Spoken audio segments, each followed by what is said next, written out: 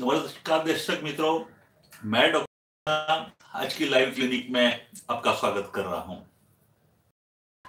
भी लास्ट कुछ दिनों में मैंने काफ़ी कुछ ट्रैवलिंग किया है सेमिनार अटेंड किए हैं। आज जो मैं बात करने जा रहा हूँ, वो मेडिसिन का नाम है पोथोस। उसका बुक में नाम अलग से है मटेरिया मेडिका में आप देखो, पोथोस से जाना जाता है। तो ये मेडिसिन मुझे आज इसलिए बताने का मन हुआ कि कल मैं मेरे कॉलेज को स्टूडेंट को बता रहा था कि अस्थमा के बारे में मैं मेडोरिनम सिखा रहा था उनको।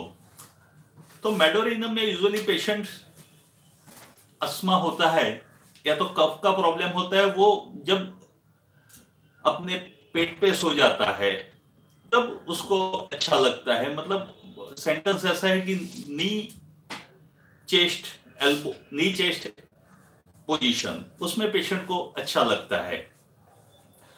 तब मैंने उनको ये भी पूछा कि आर्सेनिक का अस्थमा कैसे बेटर होता है? तो आर्सेनिक का पेशेंट यूजुअली आगे झुक के बैठने से अच्छा लगता है।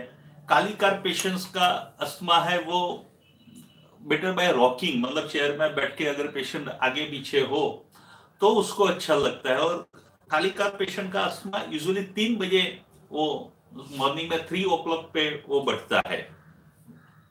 तो उस पर से एक दवाई पोथोस मुझे याद आई, जो आपसे डिस्कस कर रहा हूँ। बहुत छोटी मेडिसिन है।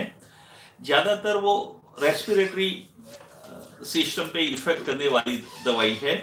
तो ज़्यादातर थ्रोट और रेस्पिरेटरी प्रॉब्लम उसका एक ही इंडिकेशन है कॉमन कि डस्ट वगैरह से अगर आपको प्रॉब्लम हुआ डस्ट अगर आपने इनहेल कर दिया और आपको स्नीजिंग शुरू हो गया तो आप पोथोस को सोच सकते हैं।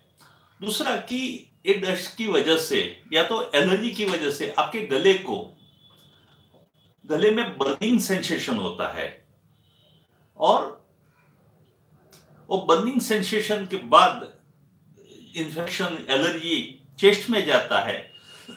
और वहाँ उसको सांस लेने में प्रॉब्लम होता है। अस्थमा बोलते हैं। स्पाज्मोडिक अस्थमा और क्या होता है कि जो स्पाजमोडिक अस्थमा होता है, उसमें पेशेंट को एंजाइटी हो जाती है पसीना पसीना हो जाता है।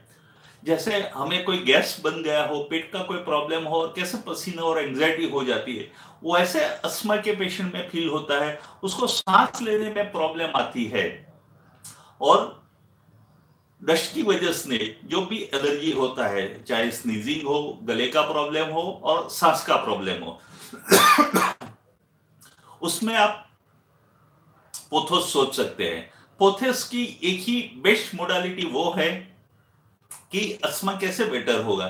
तो जब पेशेंट अस्थमा का पेशेंट जब स्टूल पास करने जाता है, उसको स्टूल पास करने के बाद उसमें अस्थमा में रिलीफ मिलता है। ये उसका सबसे ज़्यादा इंडिकेशन है। मैंने सुना है कुछ लोगों को बोलते हो कि अगर आपको अस्थमा हो और डस्ट की एलर्जी हो तो आप महीना, दो महीना पोथोस नाम की दवाई ले लो तो आपका अस्थमा ठीक हो जाएगा। लेकिन मैं मुझसे एग्री नहीं होता हूँ। ये जो दवाइयाँ है, वो शॉर्ट एक्टिंग है। मतलब जब भी आपको प्रॉब्लम हुआ हो सपोज़ अस्थमा का अटैक है और उसका इंडिकेशन ये है कि बेटर बाय पासिंग स्टूल तो वो देने से टेम्पररी अस्थमा में रिलीफ होता है। लेकिन अगर आपको हमेश के लिए एलर्जी से छुटकारा पाना हो तो होम्योपैथिक में जो कंस्टिट्यूशन मेडिसिन बोलते हैं कंस्टिट्यूशन मेडिसिन से ही आपको लेना पड़े, जिसमें माइंड आपका माइंड आपके फ़िज़िकल जनरल और सब कुछ देख के आपको जो दवाई सिलेक्ट करते हैं, उस दवाई से ही पेशेंट को फ़ायदा हो सकता है। तो ये बात हुई पोथोस की डस्ट एलर्जी की अच्छी दवाई, और उसकी इफ़ेक्ट गले पे, और चेस्ट पे अस्थमा में और अस्थमा बेटर बाय स्टूल। और जब भी अस्थमा का अटैक आता है तो एंग्जाइटी हो जाती है, पसीना हो जाता है पेशेंट रेस्टलेस हो जाता है। तो ये सब बात थी पोथोस के बारे में, जो हम हर एक लाइव क्लिनिक के पल एक मटेरिया मेडिका शुरू करते हैं। अभी हम बात कर रहे हैं, जो क्वेश्चन आए हैं, उसके लिए बात करेंगे। ज्योति कटारिया हेलो ज्योति, कैसे हो आप? मुझे लाइपोमा है। लाइपोमा की वैसे देखो तो कोई दवाई नहीं है।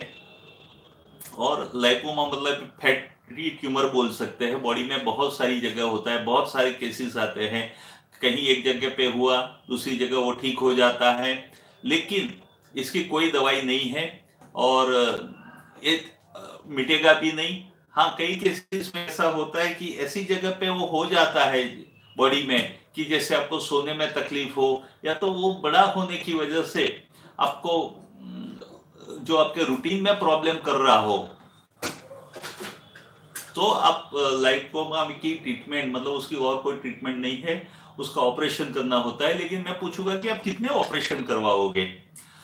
लोग जो हमारे पास लाइपोमा की ट्रीटमेंट के लिए आते हैं मेनली उनको डर है कैंसर का, कि इसमें से कैंसर तो नहीं हो जाएगा इसलिए वो हमारे पास आते हैं। नहीं कि लाइपोमा और दूसरा की कॉस्मेटिक पर्पज से हमारे आते हैं, लेकिन मैं बोलता हूँ, आप भूल जाइए, उसकी कोई ट्रीटमेंट नहीं है। जस्ट एक्सेप्ट इट लाइपोमा को, और उसकी कोई ट्रीटमेंट का सोचिए मत। Doctor Chintan, Shailesh Kumar Joshi my friend is suffering from dyspnoea plus cough and yellow sputum bilateral visit normal kindly suggest medicine मैं सजेस्ट करूँगा कि डिस्पनिया भी है कफ है और येलो स्पूटम निकल रहा है और विजिंग भी आ रहा है। तो मैं सजेस्ट करूँगा, मैं ऐसे केसेस में अगर उसको पानी की प्यास ज़्यादा लग रही हो बार बार थोड़ा थोड़ा पानी पी रहा हो तो आप एंटम एंटीमोनियम आर्स दवाई जो है थर्टी पोटेंसी में, वो आप तीन तीन गोली तीन से चार बार उसको दीजिए, उससे उसका कब भी ठीक हो जाएगा। कई केसेस में मैंने देखा है कि अभी ठंडा वेदर है, बहुत सारी कोल्ड कहीं पर भी मतलब सारी जगह पे काफ़ी कोल्ड वेदर है। तो आई सजेस्ट कि आप, इस पर उसमें हेपारसल्फ नाम की दवाई लीजिए। मेरा ध्यान ये जो क्वेश्चन आ रहा है, उसमें चला गया इसलिए मैं, मेरी लिंक ये हो गया। लेकिन एंटम आर्स अगर पानी की प्यास ज़्यादा लग रही हो तो और ठंडी वेदर से कोल्ड लगने से अगर प्रॉब्लम हुआ तो आप हेपारसल्फ सोच सकते हैं। स्वाति गुप्ता, सर, मेरे तीन साल का बच्चा है। परसों से सर्दी हो रही है, चीख भी आ रही है रनी नोज़ है, क्या दू? स्वाति जी, आप उसको एकोनाइट थर्टी दीजिए। एकोनाइट गोली चार बार दीजिए और बहुत सारा पानी आ रहा हो, आँख से भी पानी आ रहा हो, नाक से भी पानी जा रहा हो, चीख भी बहुत आ रही है। तो शुरुआत में आप एकोनाइट सोचिए, वरना आप एलियम सेपा भी सोच सकते हैं। लेकिन ठंडी हवा, अभी ठंड की बहुत मौसम है और ठंडी हवा की वजह से प्रॉब्लम होते हैं बहुत लोगों को अभी, और मैं एकोनाइट देता हूँ और एकोनाइट से बहुत अच्छे रिजल्ट्स मिलते हैं। शकीब 450 सोराइनम वनियम का सेकंड डोज कितने दिन के बाद ले सकते हैं, फंगल इन्फेक्शन के लिए।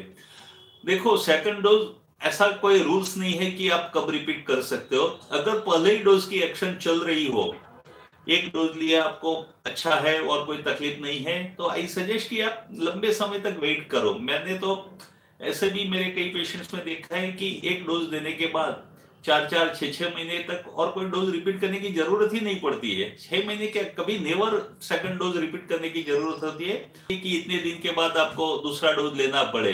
कभी भी आप ज़रूरी नहीं है।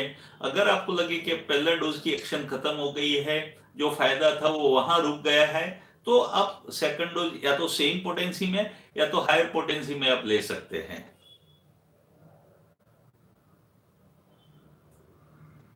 वंश नारायण, गले में खाराश भी रहती है। मिल्क और मिल्क और खाने से परेशानी बढ़ती है। वरिष्ठ नारायण पूछ रहे हैं, उनको गले में खराश रहती है और ठंडा खाने से, सॉरी, मिल्क लेने से और तीखा खाने से उनको परेशानी बढ़ती है। अगर आपको अगर और ज़्यादा कोई प्रॉब्लम नहीं है तो आई सजेस्ट कि आप, जो गले का प्रॉब्लम है, उसके लिए आप, बेलाडोना लीजिए। बेलाडोना थर्टी पोटेंसी से मोस्ट ऑफ़ द गले की खाराश है। वो ठीक हो जाती है। तो बेलाडोना थर्टी तीन तीन गोली तीन बार। खान फैसल, मेरे पास कोरिया का पेशेंट है।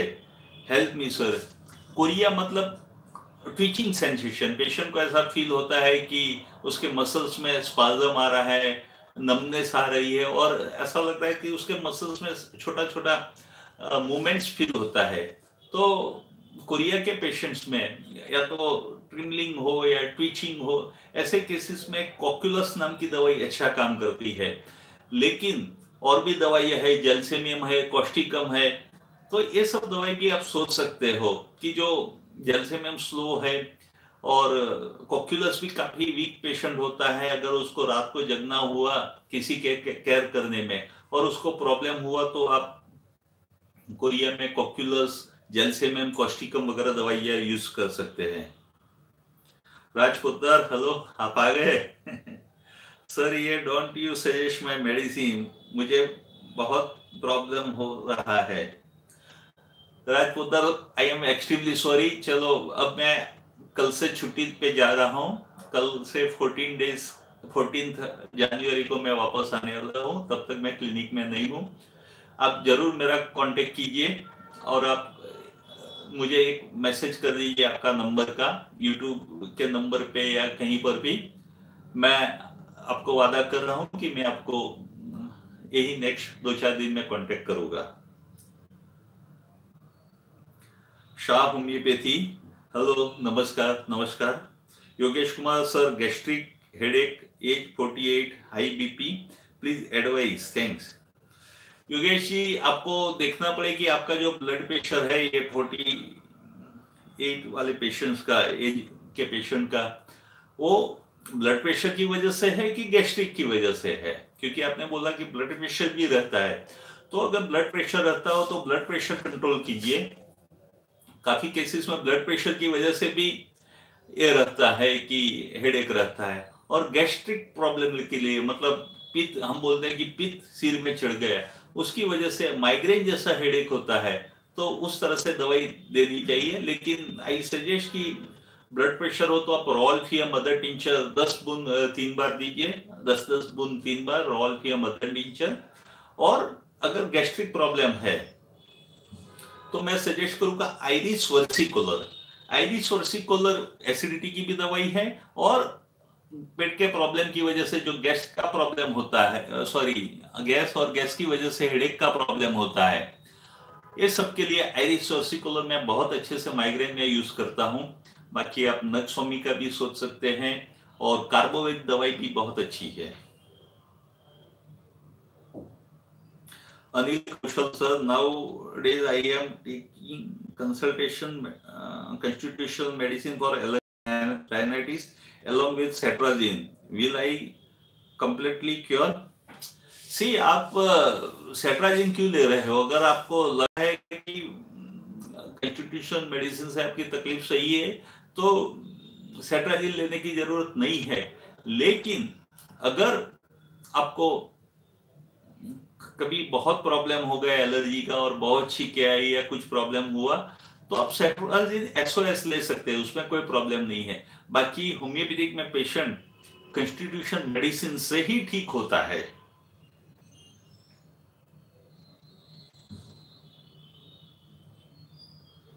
राज राजपोदार बोल रहे हैं I feel like I can only breathe seventy percent of total lungs capacity तो हो सकता है कि हम इसमें रहते हैं कि हमारे पेट के प्रॉब्लम की वजह से हम डीप ब्रीथ नहीं लेते हैं। हम काम में इतने ये रहते हैं कि सांस लेना ही हमें ध्यान नहीं रखता है तो आप आई सजेस्ट की प्राणायाम कीजिए। रोज आधा घंटा डीप ब्रीदिंग करने का, प्राणायाम करने की हैबिट डालो और जब भी आपको बैठे हो, कहीं याद आया, तब भी आप डीप ब्रीदिंग करो। जब भी आपको याद आए, तब एक उंडे उंडे श्वास लेने का रखो। उससे क्या होगा कि आपके लंग्स एक्सपांड हो गए और लंग्स एक्सपांड हो गए तो काफ़ी अच्छा ऑक्सीजन आएगा। और वीकनेस और वर्टाइग और बहुत सारे प्रॉब्लम में उससे आपको फ़ायदा मिलेगा। Prabhakar Totkar anxiety and future worry how to reduce anxiety में दवाई का नाम मैं बताऊँगा, वो है आर्सेनिकाल अगर आपको फ्यूचर की वरी है, लेकिन आप और डिटेल में बताइए कि एंजाइटी में क्या सिम्टम्स होता है और किस चीज़ की एंजाइटी होती है? कई लोगों को फैमिली की एंजाइटी होती है, कई लोगों को अपने हेल्थ की एंजाइटी होती है, कई लोगों को फ्यूचर में अपने मतलब हम को कुछ हो जाएगा तो क्या होगा? तो ऐसे केसेस में एकोनाइट है आर्सेनिक है आजेंटम नाइट्रिकम है। ये सारी दवाइयाँ काफ़ी अच्छा काम करती है। तो आप थोड़ा मुझे डिटेल में, जब भी I request all my viewers की, जब भी आप कोई क्वेश्चन पूछो तो थोड़ा डिटेल में मुझे बताइए कि आप का एग्जैक्ट सिम्टम्स क्या है? होम्योपैथिक में ऐसा नहीं है कि आपने बोल दिया एंग्जाइटी तो एंग्जाइटी की दवाई आ जाएगी। थोड़ा डीप में आप लिखिए।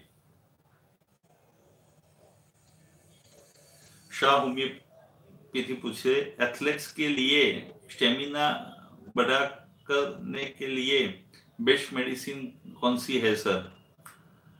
एथलेट्स के लिए अगर ऐसे कोई स्टेमिना बढ़ाने की स्पेशल दवाई नहीं है, लेकिन मैं सजेस्ट करूँगा कि अल्फ़ा अल्फ़ा है एवेना सटाइवा है, ये सब स्टेमिना बढ़ाने की दवाई है। लेकिन जो एथलेट्स को चाहिए, वो उनको प्रोटीन डाइट से मिलेगा तो उनको प्रोटीन डाइट ज़्यादा लेना चाहिए। लेकिन अल्फ़ा अल्फ़ा आप सजेस्ट कर सकते हैं अल्फ़ा अल्फ़ा मदर टिंचर में दस दस गुण तीन बार। अनिल, कौशल पूछ रहे sir, now days I am taking ये तो हो गया Anil, Kaushal, sir, now days Sandeep Kande पूछ रहे हैं कि disc prolapse in L four, L five, S one, pain tingling sensation in the legs more in the right leg तो ये आपके क्लियर कट का प्रॉब्लम है और साइडिका में टिंगलिंग सेंसेशन है मतलब और पेन पूरे पैर में जा जा रहा है। तो राइट लेग में जा रहा है तो आई सजेस्ट कि आप कोलोसिन थर्टी पोटेंसी में तीन तीन गोली, तीन बार लीजिए। दूसरा mag phos six X biochemic में mag phos six X potency में तीन तीन गोली, तीन बार आप ले सकते हैं। और एक जेंथोजाइलम करके मेडिसिन है। जेंथोजाइलम दवाई भी अच्छे से इसमें वर्क करती है। और आई सजेस्ट कि मेरा साइडिका पे सेपरेट वीडियो है।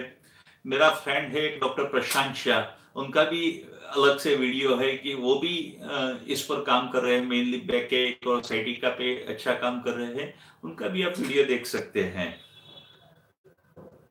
Rajpota sir mucus wheezing sound from larynx उनको लेरिंग्स में से वीजिंग साउंड आ रहा है और आप बताइए कि कफ निकलता है कि नहीं निकलता है? बाकी आप स्पॉन्जिया लीजिए स्पॉन्जिया थर्टी पोटेंसी तीन तीन गोली, तीन बार जो कफ जमा हुआ हो और बार बार उसको साफ़ करने का मन होता हो, ऐसा लग रहा है कि कुछ फंसा हुआ है।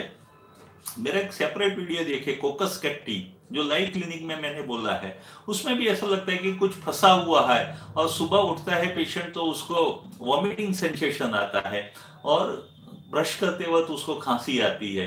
ये कोकस के सिम्टम्स है।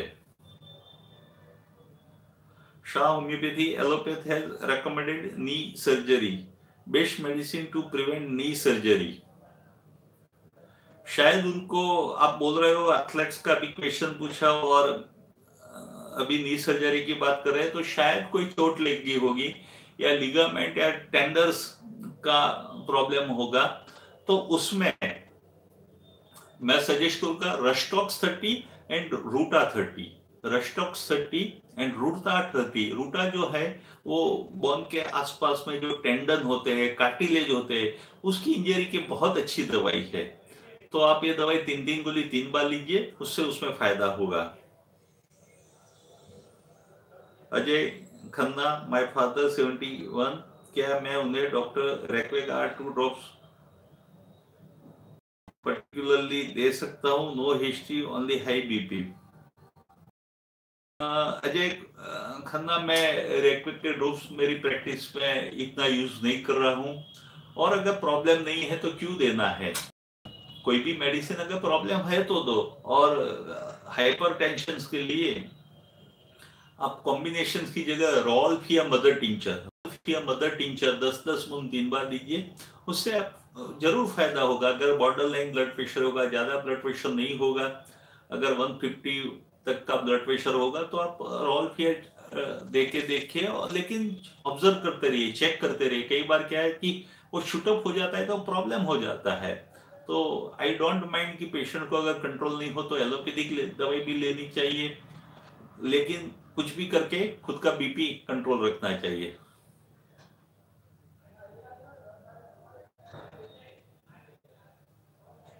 शाह होम्योपैथी फिर से पूछ रहे हार्ट ब्लॉकेज के लिए होम्योपैथी में सबसे इफ़ेक्टिव मेडिसिन कौन सी है? Crataegus tincture crataegus mother tincture में, मैंने हमारी बुक्स में, होम्योपैथी की बुक में ऐसा लिखा है कि एक डॉक्टर अमेरिका में एक दवाई देता था, उससे लोगों के हार्ट प्रॉब्लम ठीक हो जाते थे। तो उसके यहाँ लाइन लगी लोगों की, लेकिन उसने किसी को बताया नहीं, लेकिन जो भी उसके पास जाता था, सबको अच्छा हो जाता था। उसके मरने के बाद उसकी बेटी ने बताया कि वो लोगों को, वो अपने फादर लोगों को हार्ट प्रॉब्लम ठीक करने के लिए क्रेटेगस मदर टिंचर देते थे। तो क्रेटेगस क्यू? मेरे हिसाब से बहुत अच्छा हार्ट टॉनिक है। उसके अलावा भी बहुत सारे हार्ट टॉनिक है, कैक्टस, मदर टिंचर है, एडोनिस वर्नालिस है स्टोफेंथस है, काफ़ी कुछ दवाइयाँ हैं। लेकिन मैं ज़्यादातर क्रेटेगस, मदर टिंचर का अच्छे से यूज़ करता हूँ। शाह होम्योपैथिक आपने बहुत क्वेश्चन पूछ ले हैं। Hyper active child is three हम उसका दे सकते हैं। क्या दे सकते हैं? देखो, आजकल के तो सारे बच्चे हाइपर एक्टिव है। फिर भी हाइपर एक्टिव बच्चों में एक डिज़ीज़ पाया जाता है ADHD attention deficiency disorder ADHD में हाइपर एक्टिव डिसऑर्डर उसमें बच्चा बहुत रेस्टलेस होता है, बहुत इधर उधर वो भाग दौड़ करता है।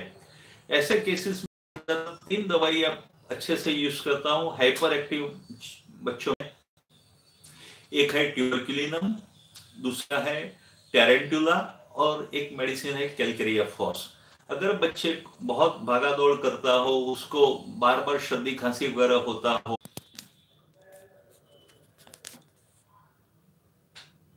सॉरी फिर से कुछ कनेक्शन इश्यू आया था, इसलिए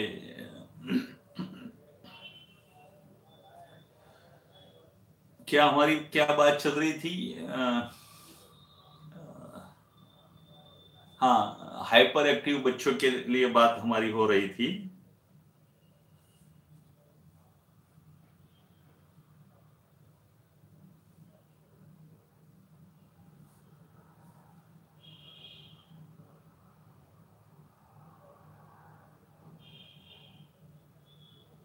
ओके okay, अब हो गया। तो मैं एक ट्यूबरक्यूलिनम कैलकेरिया फॉस और एक दवाई जो यूज़ कर रहा हूँ, वो है टेरेंटुला टेरेंटुला मेडिसिन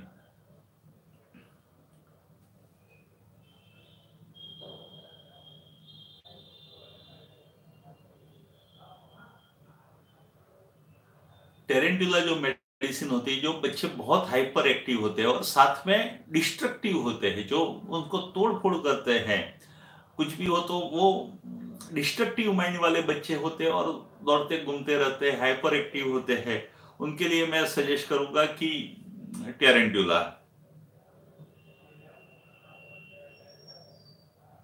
अभी मैं कहा था?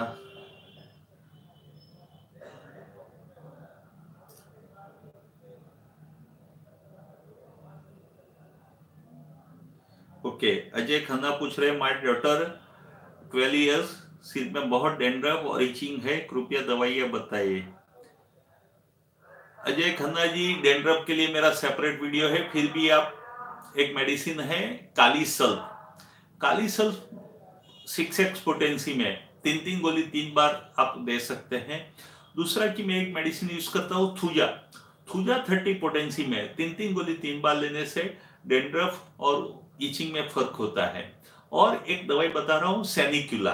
अगर बच्चा बहुत चिड़चिड़ापन हो, गुस्से वाला नेचर हो, और सिर में बहुत पसीना होता है, और बहुत सारा डेंड्रफ निकलता हो तो उसके लिए मैं सजेस्ट करता हूँ सैनिक्यूला सैनिक्यूला थर्टी पोटेंसी तो काली सल्फ है, वो सिक्स एक्स पोटेंसी में देना है, और सिली सैनिक्यूला और थुजा, वो थर्टी पोटेंसी में तीन तीन गोली तीन बार देना है।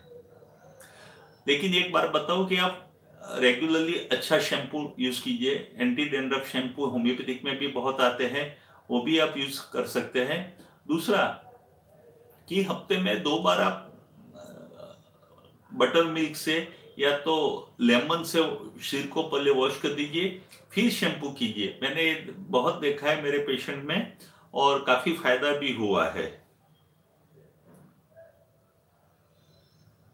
राजीव पंचाल पूछ रहे मेडिसिन फॉर एप्सेस अगर मैं तो बहुत सिंपल सा यूज़ करता हूँ कि अगर बॉइल हो गया हो तो आप सिलिशिया 200 पोटेंसी में सिलिशिया और 200 पोटेंसी में तीन सुबह, तीन शाम कुछ दिन देने से वो रप्चर हो जाएगा। और एक दवाई है हेपारसल हेपारसल सिलिशिया ये दवाइयाँ बहुत अच्छे से, और मर्क्यूरियस ये तीनों दवाइयाँ एप्सस के लिए बहुत अच्छी दवाइयाँ है। सर स्ट्रिक्लिया मदर टिंचर के बारे में आपका ओपिनियन क्या है? मैं इतना ज़्यादा यूज़ नहीं कर रहा हूँ ये मदर टिंचर इसलिए मैं राइट नाउ कोई कमेंट नहीं कर पाऊँगा, लेकिन अगली बार ज़रूर उसका कुछ अच्छे रिजल्ट्स मुझे मिलेंगे कहीं पर, मैं अच्छे से यूज़ कर दूँगा, तब आपको ज़रूर मेरा एक्सपीरियंस शेयर करूँगा। Rajpotar okay thank you please send me Pawan Kashyap gold bladder medicine लेकिन क्या है? गोल ब्लेडर में क्या प्रॉब्लम है वो तो बताइए। लेकिन गोल ब्लेडर के लिए एक अच्छी दवाई है fel tauri fel tauri three X potency या सिक्स एक्स पोटेंसी मतलब उसको ट्राइक्यूरेशन बोलते हैं। वो बहुत अच्छी मेडिसिन है। और एक दवाई है cholesterinum cholesterinum six X potency या थ्री एक्स पोटेंसी वो भी गोल ब्लेडर के बहुत अच्छा काम करती है। Xiaomi sir, love you channel. It's very informative. Thank you very much. आप क्या करते हो जरा आपके बारे में बताइए या आपका मेडिकल स्टोर है या आप खुद डॉक्टर हो या हॉबी प्रैक्टिशनर हो आप मुझे बताना और जिस तरह से आप होम्योपैथिक को स्प्रेड कर रहे हो इसलिए आई also love you Bhagwan Das sir नमस्कार डे टाइम में भी और नाइट टाइम में भी नीड बहुत आती है। भगवान दास, अगर नींद ज़्यादा आ रही है तो आप अपना बी ट्वेल्व चेक करवाइए। बहुत सारे केसेस में मैंने देखा है, आप मेरा अलग से बी ट्वेल्व का वीडियो भी देखिए। तो आप बी ट्वेल्व जो ब्लड टेस्ट है, वो करवा लीजिए। अगर बी ट्वेल्व कम हुआ हो तो बी ट्वेल्व के लिए आप मेरा वीडियो देखिए मिल्क प्रोडक्ट ज़्यादा लीजिए। और दूसरा एलोपैथिक दवाई ले लीजिए। बी ट्वेल्व में डॉक्टर्स इंजेक्शन बोलते हैं, लेकिन मैं बोलता हूँ कि आप एक गोली रोज ले लीजिए, उससे आपका बी ट्वेल्व कम जो है, उसमें अच्छा रिस्पॉन्स मिलेगा और उससे आपका प्रॉब्लम भी सॉल्व हो जाएगा नींद का। फिर भी नहीं हो तो हमें और सोचना चाहिए कि क्या प्रॉब्लम हो सकता है।